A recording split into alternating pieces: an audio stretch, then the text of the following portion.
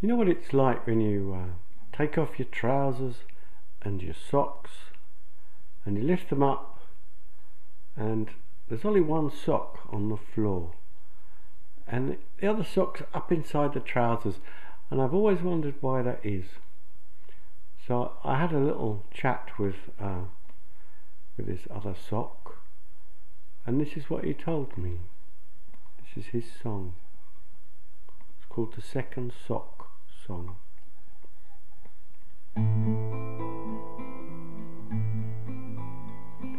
I've never been a first sock, I've always been a second. You know, the one that only falls out when you shake it.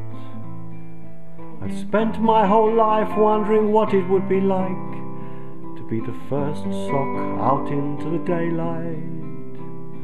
But who knows what dangers might be waiting there, like the dog or the cat or strange underwear. And here up in the trousers it's so cozy and warm. Oh, I wish I could lie here forever.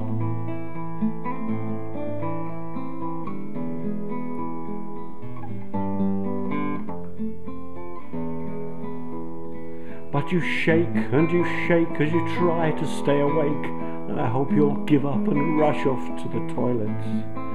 Oh, please let me stay, let me dream the night away, breathing the perfume of your toes and ankles.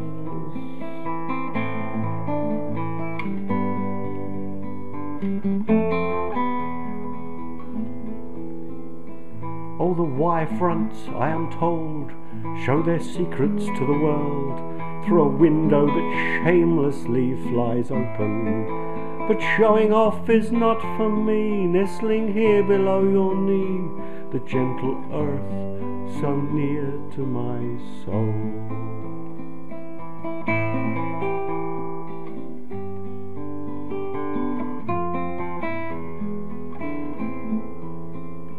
As we lie in the warmth of the fragrant laundry box, my brothers tell whole stories of their wounding.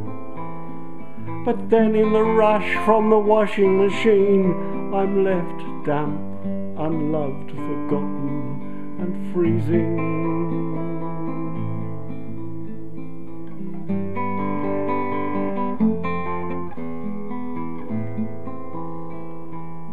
Oh, I've never been a first sock, I've always been a second, you know, the one that only falls out when you shake it.